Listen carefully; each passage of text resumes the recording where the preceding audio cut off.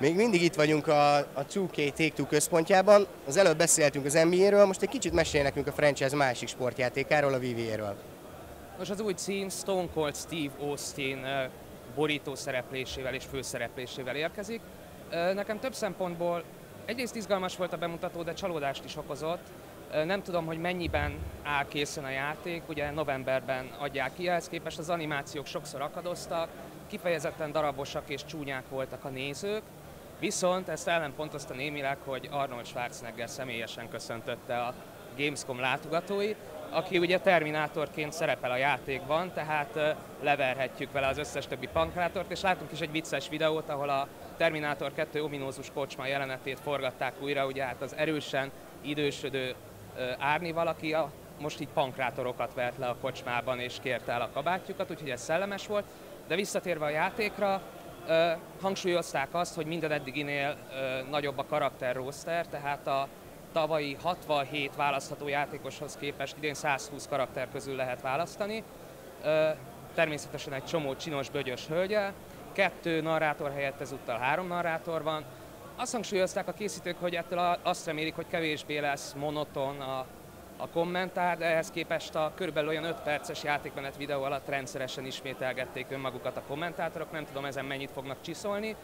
Hát természetesen brutális támadásokat, leütéseket, fogásokat láthattunk, tehát ez megvolt.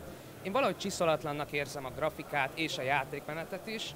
Egyelőre, amit még külön kihangsúlyoztak, hogy az NBA-hez hasonlóan testre szabhatóak lesznek a, a ringek, minden játékos az idei friszkója szerint szerepel a játékban, akinek hosszabb a szakállana, a játékban is hosszabb.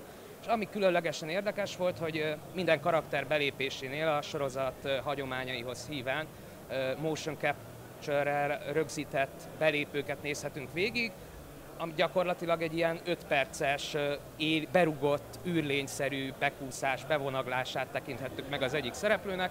Az animációk összességében külön-külön jók, de úgy érzem, hogy nem folynak át egymásba szervesen. Az egyik szereplő például konkrétan, amikor belépett, akkor a ring kerítésén lebegett, hát gondolom ezeket javítani fogják majd. Ugyanúgy indítatunk saját karaktert is majd, mint az eddigi játékokban? Erről volt szó a prezentáción?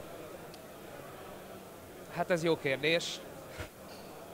Nem volt szó szerintem a prezentáción erről, az biztos ugye, hogy, hogy Árnival harcolhatunk. Én megkockáztatnám, hogy nem, mert akkor ezt hangsúlyozták volna.